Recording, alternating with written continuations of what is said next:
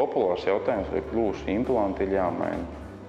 Atbildi ir sekojoša. Ja nav vajadzība, tad tie noteikti nav jāmaina. Agrāk uh, bija tāds uzskats, kā arī tiešām rekomendēja mainīt šos implantus uh, 5 līdz 7 gadus pēc operācijas. Tad, nu, strādājot ar mūsdienu jaunās paudzes implantiem, tādas vajadzības vairs nav. Vismaz rekomendācijās netiek pieminēts, ka tie būtu jāmaina, jo tomēr šies, šie implanti izgājuši pietiekoši nopietnu certifikāciju, medicīniskus testus laboratorijās, kā arī medicīniskus pētījumus, kuros, kuros neuzrāda vajadzību tos mainīt.